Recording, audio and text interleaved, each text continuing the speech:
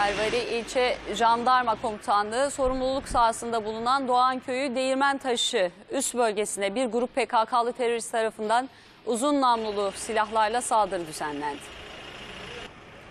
Hain saldırıda üst bölgesinde görevli güvenlik korucusu Mehmet Babat şehit oldu.